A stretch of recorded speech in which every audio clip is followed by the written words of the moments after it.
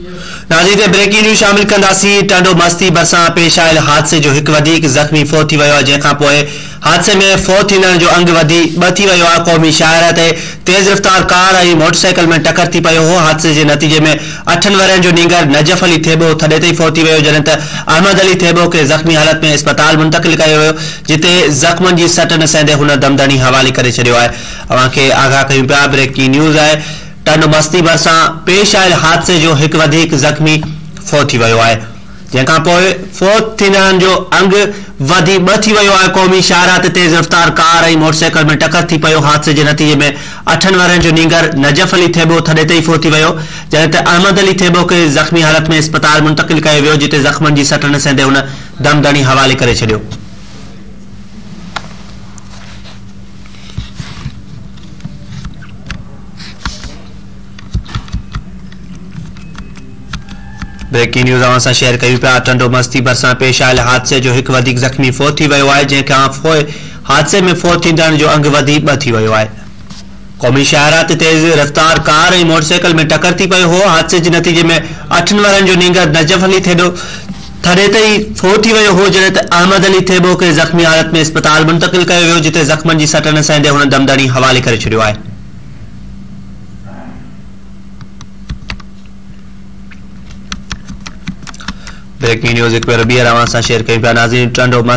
पेश आयल हादसे जो हिकु वधीक ज़ख़्मी फ़ौत थी वियो आहे जंहिंखां पोइ हादसे में फ़ौत थींदड़नि जो अंग वधी ॿ थी वियो आहे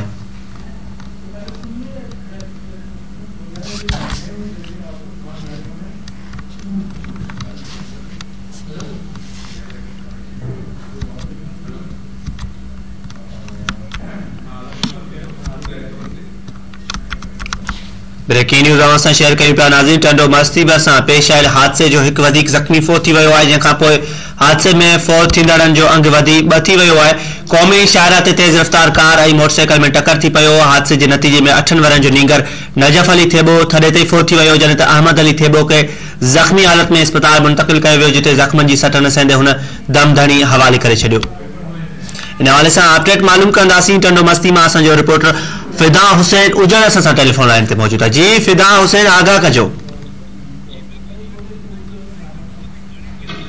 चकोमी शहरा हुसैनी चौक ते जेको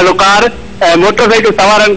ज़ोरदार टक्कर लॻायो जंहिंजे नतीजे में नजफ़ अली थेबो जो हो मौके ते पहुची वियो हो जॾहिं त अहमद अली थेबो हो उहो जख़्मी थी पियो मक़ामी माण्हुनि मोटर पुलिस की मदद से पंहिंजे वठी छॾियो